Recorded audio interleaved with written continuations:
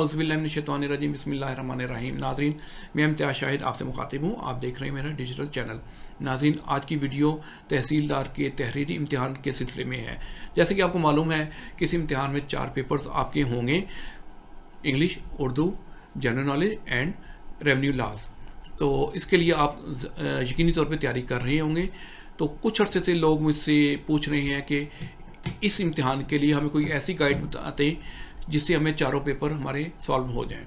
तो सबसे पहले मैं आपको इतला देना चाहता हूँ या आपको मशवरा देना चाहता हूँ कि जो लोग गाइड पे निसार करना चाहते हैं, वो अपने टाइम को बचाएँ, इसमें मत लगाएँ और क्योंकि जब आप गाइड से तैयारी करेंगे तो नाकामी आपका मुकद्दर बनेगी। तो इसलिए आपको चाहिए कि गाइड को परे करें और डिटेल स्टडी करें। जो लोग पहले भी पंजाब पब्लिक सर्विस कमीशन के इम्तहान दे रहे हैं, उनको मालूम है कि दिन ब दिन पंजाब पब्लिक सर्विस कमीशन अपना स्टैंडर्ड हाई करता जा रहा है और जो गाइड्स हैं, वो फ्लॉप होती जा रही हैं। तो इस सिलसिले में आपका जो पेपर्स हैं, वो मैं आपको वन बाय वन आपको बताता हूँ कि आपने तैयारी कैसे करनी है। हाँ इससे पहले मैं आपको ये भी बता दूँ कि टिप्स एंड ट्रिक्स जो आप हमारे यूट्यूब चैनल में सारे वीडियोस मौजूद हैं इस सिलसिले में तो पहले तो आप उनको अच्छी तरह वॉच करें और उसको समझें।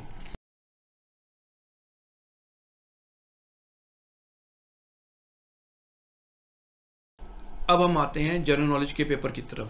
तो जनरल नॉलेज के पेपर के लिए सबसे पहले आपको पता होना चाहिए कि कमीशन का ट्रेंड क्या है, किस किस्म के सवाल आ रहे हैं, किस किस्म के पेपर आ रहे हैं। तो सबसे पहले आप जहाँ पब्लिक सर्विस कमीशन के सबका पेपरों को देखेंगे। तो ये पेपर जैसे कि आपको मालूम है कि एडवांस पब्लिशर ने पब्लिश किए हुए हैं।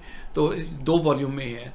वॉल्यूम टू में जो है 2019 से लेकर 2023 तक के पेपर हैं। इन पेपर के ज़रिए आपको नया ट्रेंड मालूम हो जाएगा। इसके अलावा वॉल्यूम टू में कुछ नायब तहसीलदार और तहसीलदार के पेपर्स मौजूद हैं और बाकी जो प्रीवियस पेपर्स हैं, वो आपको वॉल्यूम वन में मिलेंगे। तो तैयारी करने का तरीका आपका ये है कि सबसे पहले आप 2023 के पेपर देखेंगे, फिर 2022 के देखेंगे, फिर रिवर्स गियर में इस तरह देखते जाएँगे। जब आप वॉल्यूम टू पूरा कर लेंगे उसके बाद आप वॉल्यूम वन की तरफ़ आएँगे। तो ये याद रखिएगा कुछ लोग ये समझते हैं कि सिर्फ़ हम तहसीलदार के सारे पेपर देख लेंगे और उसी में से दोबारा पेपर आ जाएगा। ऐसा नहीं होता। आपने डिटेल तैयारी करनी है सारी चीज़ें पढ़नी है। इसके अलावा जो डॉक्टर इकरा, इम्तियाज़ की वन लाइनर है वो आपने वो स्टडी करनी है। मैं अपने इस चैनल पे मंथली या bimonthly current affairs upload कर रहा हूँ। आप उनको देखें सुने और समझें। उनमें आपके जनरल नॉलेज के काफ़ी क्वेश्चन कवर हो जाएँगे, उसके अलावा करंट अफेयर के आपके क्वेश्चन उसमें से कवर हो जाएँगे। अब हम आते हैं इंग्लिश की तरफ़। तो आपने बीए की किताबें, जो ग्रामर्स हैं, वो आप देखें एफए की ग्रामर्स भी देखें।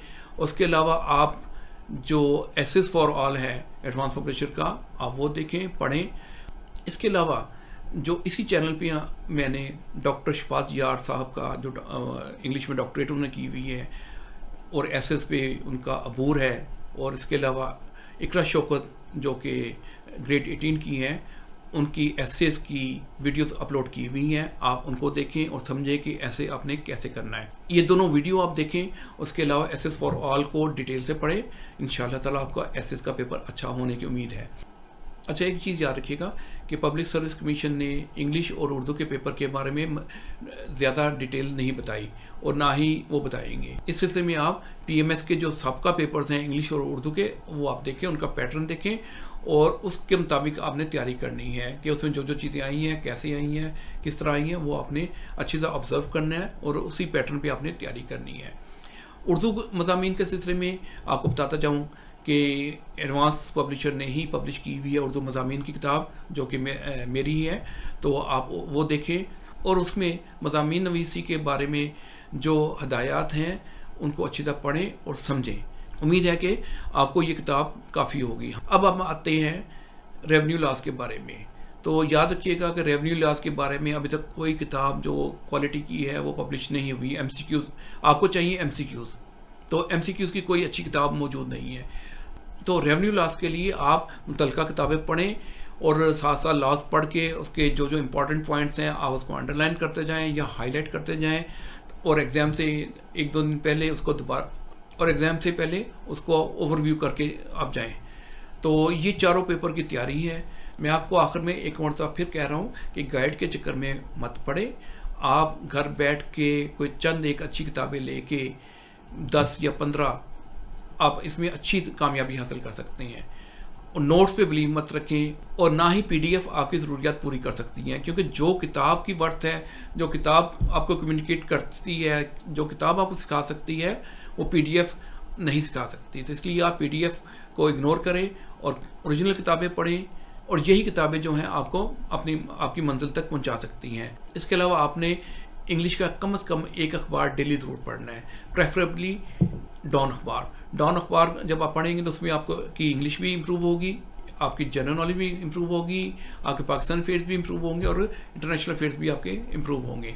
तो इसमें जो कंटिन्यूशन होती है खबरों की, आपने उसके ऊपर नज़र रखनी है एवोल्यूशन जो इश्यूज़ की है, उस पर भी नज़र रखनी है और जो इंपॉर्टेंट पॉइंट्स हैं, वो अपनी कॉपी पे लिख लें, अपने रजिस्टर पे लिख लें, या कोई अपने इस तरह के जो नोट्स हैं, बना रहे हैं, उसमें आप लिख लें।